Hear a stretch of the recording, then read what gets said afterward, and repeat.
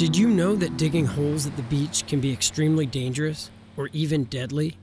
New Jersey's beaches just had a fatality.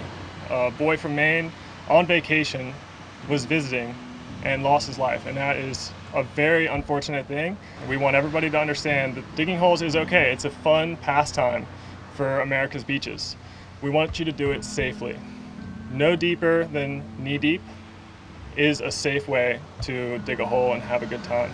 The towns have spent a great deal of time and effort making the beaches safe for beachgoers. This is kind of a little bit of a new thing because suddenly we're talking about the beach goers helping us keep the beaches safe for each other and us as well. The dangers to people digging holes are as they're digging it, as they're getting in and out of it, cave-ins, depending on the size of the person, the depth of the hole, it might involve airway, life management, or it just might be a crush injury that still can be quite grave. Especially considering they've been out here all day long, they've been exerting themselves digging this hole. You're gonna have cave-ins, you're going to have basically a, a, landslide, and then you're also going to have flooding, you know, as swells come in. The impacts of digging holes and leaving them unfilled on the beach reach much farther than the general public. They also affect first responders, those patrolling the beach, and endangered wildlife. This is especially true for lifeguards on ATVs. They're out there every day from 10 to 6 and they're patrolling up and down the beach. And anybody who's worked the beach at some point in time has hit a hole. And when we do so, our heart stops for a moment. Because one of the first question we always ask ourselves is somebody in that hole? And luckily, knock wood, it wasn't. But in that same token, what is the damage I've done to my vehicle? Some of these holes, when I talk about it, you probably get a vision of this child out there, this nice bevel to build a sandcastle. Some of these holes are large enough that I would actually sink my front, front of my truck in and be a catastrophic failure, no different than any crash, and I could be actually incapacitated as well as the truck and vehicle. Just one other issue that holes present not only to humans but to brief talk about the wildlife dangers. Uh, during the summer months, we have five different types of sea turtles that nest here in North Carolina.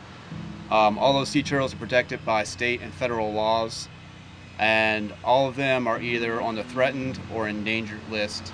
Um, and those holes can present dangers where those turtles coming up to nest can fall in the holes, get trapped, and potentially have fatal outcomes for the sea turtles. How can you help us? Children are entrusting adults to take care of them.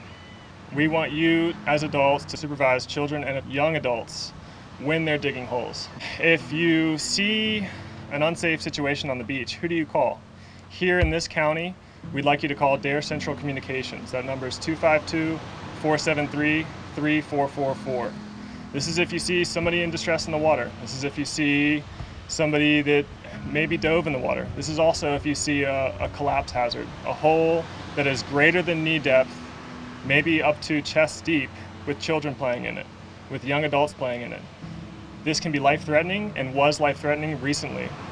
So we ask all individuals have a good time on the beach but be responsible. Uh, leave the beach with only footprints and uh, always fill in. After you dig it, it's always easier to fill in. Our ultimate goal is for anybody that is coming out to visit one of our beaches to have a safe and enjoyable day. We encourage everyone to stop and check in with your local lifeguards, to visit lovethebeachrespecttheocean.com for information on um, holes and rip currents and any other beach safety hazards that are out there. You can sign up to receive text alerts on daily beach conditions by texting OBX beach conditions to 77295.